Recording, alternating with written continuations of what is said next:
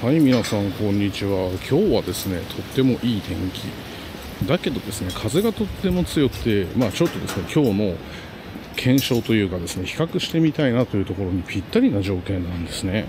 まあ最初にですね今日のお話ししたい内容っていうのをお伝えしておくとはいこちら DJI マイク2ですね。はいこちらですね。と私のですねこうよいしょ。胸元にですねピンマイクついてるんですね。これがですねソニーさんのピンマイクでしてそちらを接続すると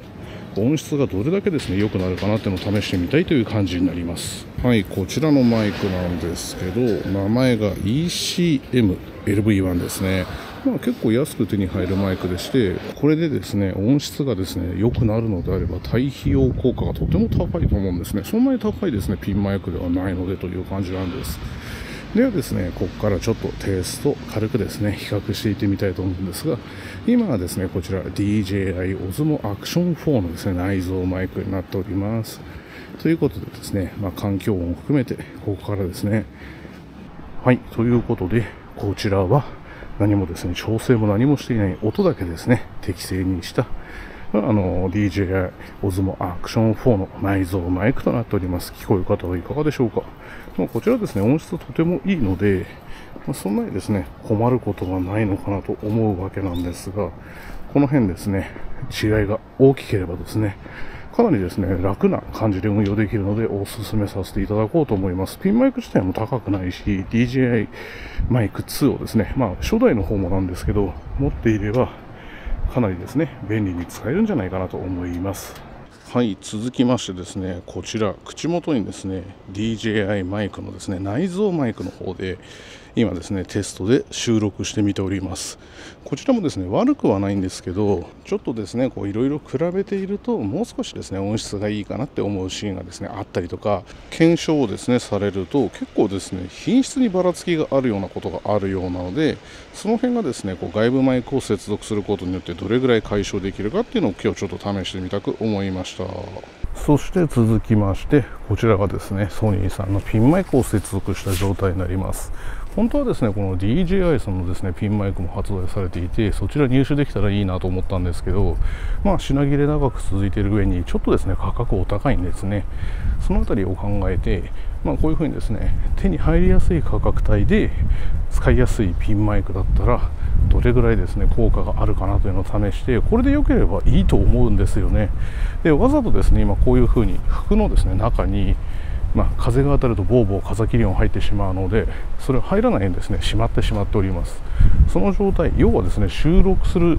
状況とすると、まあ、環境はですねあんまり良くない。という中でですね比較してみておりますがそれでもですねよく音が取れているのであればとてもいいなと思います。はいということでですねこのような、まあ、結果というかですね簡単に試してみた感じではこういう風になりました、まあ、なんでですねこういう風に検証してみようかなと思ったってとこなんですけど当然ですねこういうふうに持ってるもので音をよくできるんだったらなおいいなというところとやっぱりですねこの DJI マイクぐらいのサイズであってもかなりですねマグネットクリップで首元に止まっていても、まあ、洋服のですね感じとかで気になることが多いんですよ。そしてマグネットのですね付け外しっていうのが落ち着いた環境じゃないとまあ時々ですねポンと飛んじゃったりとかしてですね傷ついちゃったりしたら嫌だなっていうのまあ何回かですね家の中で試してる時に飛んでっちゃったことあるんですけどそういうのをですね回避するためにも優先でですねこういうコンパクト軽量なですねピンマイク使えるとしかもですね価格も高くないのに音がいいというのであればなおいいなという感じで試してみております。で結果を知らないままですね今こういう風にに皆さんにですねお届けさせていただいているんですけどどうかなというところですね。でやはりですねこういうふうに DJ オズモアクション4で本日収録しておりますけどとても気が楽ですね。もうポケット3とかでもですね結構ですね気になるんですよやっぱり。あの何て言うのかなジンバル部をですね故障させないように気をつけるというところ。まあそれはですね気をつければいいんですけどあとこの水平維持がですね左右45度まで効いて 4K で収録ができる。でまあ、あの万能感ですよね。少し暗くなってくるとやっぱりそういう暗いところに特化したアクションカム等に比べると若干ですねその明るさの処理だとかっていうのは弱かったりとかはします。でも普通にですねこのように歩いてですね収録するぐらいだったら特に大きな差もなくですね快適に使えますね。はい強い光の下でもこれぐらい映ります。そしてですね今ここ画面中にカワウがいるんですけど見えますかね。ここ神田川なんですけど結構神田川で見るのは珍しいなという感じです。で反対側ちょっと行ってみようと思うんですけど。はいこのような感じです。活発になってきてるなという感じ。今日は風は冷たくてちょっと寒いんですけど気温で見るとですねとっても暖かくなってきてます。でこれもですね毎年のですねちょっとネタみたいになっちゃってるんですけど。はいこういう風にですねいろいろ準備されてます。というのもなんですけどこの辺やっぱりあの桜がですねとても綺麗で。まあこの後ですねちょっと観光名所みたいな感じになるんですけどまあ、あの見に来る人たちはいいんですが我々は生活道路なんですよね。それがですね非常にゴミも散らかるし人だらけになって歩きにくいしとか全然いいことないのに使いにくくなる汚れるみたいな感じのイベントがあるわけなんですよ。その辺がですね全然ですね見に来てもらってっていうのはですねいいことだと思うんですけどやっぱりすごくマナーって大事だなって思いますよね。まあ例えばこの正面に見えるゴミ箱とかあるんですけどああいうところもですねゴミだらけになります。で当然ですね汚いですよね。でここら辺もですねなので見に来る人たちでいっぱいになっちゃうわけなんですよ。買い物等を含めてですね通らなきゃまあ買い物に行きにくい道なのでその辺がですね非常に困っちゃうっていうのがですね毎年恒例になっちゃってて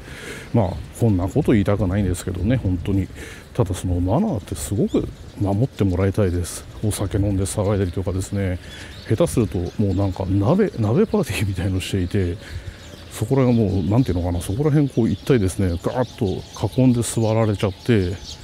歩く方が気をつかなきゃいけないみたいになったりとかもするっていうですねこともありました。